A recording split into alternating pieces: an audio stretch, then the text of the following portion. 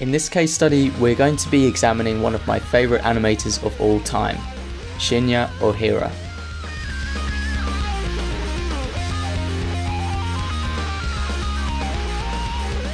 Ohira-san got his start in the anime industry as a teenager.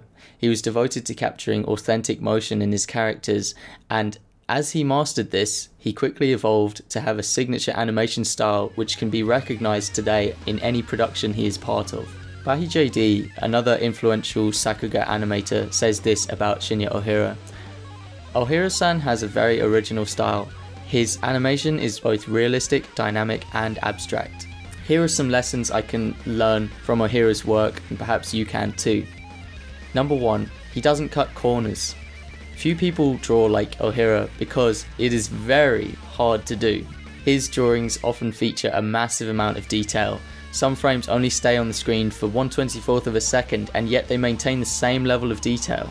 Not only are the drawings detailed, but so is the animation. Each component of the body has an ever changing trajectory and mass and that requires thousands of calculations. Unfortunately, this approach does not fit with most anime productions, so apparently, this has got him fired in the past and has made him quite difficult to work with. Number 2. He takes his time drawing frames. Even a small line will require massive amounts of calculations, taking into account physics, perspective, exaggeration, character, style, and one of my favourite techniques, moving about the mass of a character or object in a method I call shifting. Number 3. Every frame is a great drawing. Pause his animation and you'll see a unique expression of what the character is feeling. Number 4. I learned from Ohira to throw the rulebook out of the window if it's holding you back from what you want to get across to the audience. He has an intimate knowledge of what he's drawing, so he doesn't just draw what he sees, he embellishes it. He draws out certain features and he ignores other features, and this is what creates his signature style that can be recognized. I find that the main advantage to this style is how expressive it is. It really gets across what he wants you to see in the animation.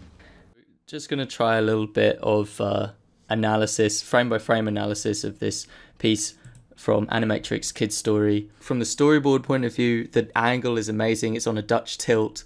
We've got these leading lines like coming here and here, they're everywhere in the frame and they're all leading towards this point. And you can see that the doorway looks pretty small and you're just thinking, how on earth is he going to fit through that? And this is all kind of subconscious.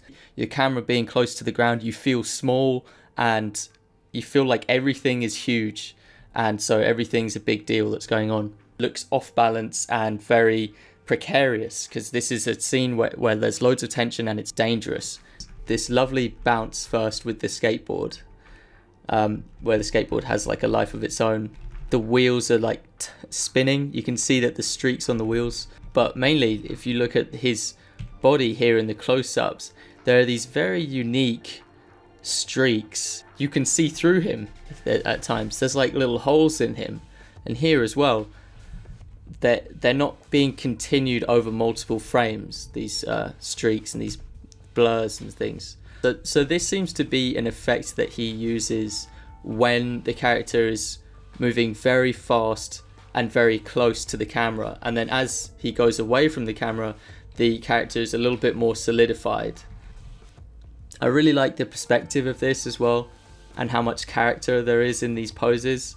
the overall movement that he's doing, as you can see, he's swerving about. So he's gone from right of the frame to left of the frame and then he's going to go and he's going to swerve past them. Gesture right there with his arm out and his kind of curved back and he's just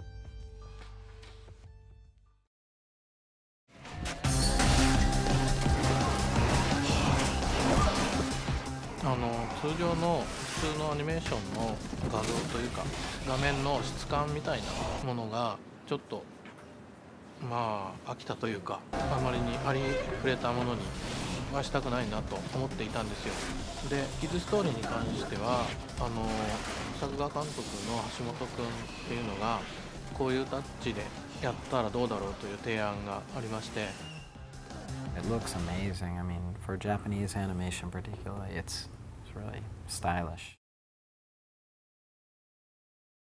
Number 5.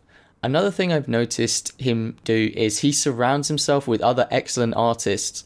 Notice here how Hiroyuki Okiura precedes Ohira's animation part with a beautifully executed walk cycle shot with stunning cinematography.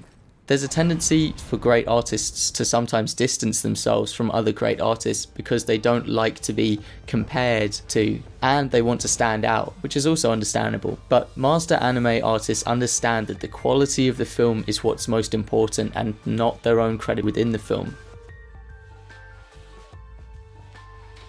This could also be why it's often so difficult to identify animators in an anime production. They all blend with one another unless there is a courageous animation producer who allows his animator's own art styles to flourish in the piece. Number 6. He has massive confidence in his animation abilities in the scene. There's no way that someone who is shy and insecure could make such a bodacious piece of animation like this. He trusts his instincts on any scene he takes part in. It takes guts in commercial animation to commit to animating in a style that not everyone may like. It's actually kind of crazy that Ohira's work is featured in any popular anime. Apparently his animation style does not go down well with the majority of anime viewers, and that might be an explanation for why styles like his are so rare in Japan. Number 7. He taught me to have fun in a scene. His work in FLCL is a good example of this because he had fun animating it, and because of that, we had fun watching it. Number 8. Learn the principles and never stop evolving. From years of experimentation, Ohira has made a style which is abstract but is also grounded in a core, realistic observation. He observes first, and then he draws on what he discovers. If he had stopped evolving back when he was creating his first short films, then he would never reach the style he has today. Okay guys, that's it for this lesson. Let me know what you thought of this kind of video type. If it does well, I might be persuaded to make a series on it covering loads of different animators, but we'll see how it goes. As always, check out animatorguild.com. We've got a forum, we've got an online store, and lots of free downloads when you sign on.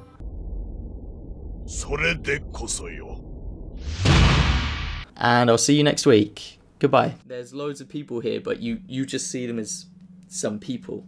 You don't see oh it's there's that guy and then that guy and there's that guy and there's that guy. They're just you see them as like they're people. These are people. This is the guy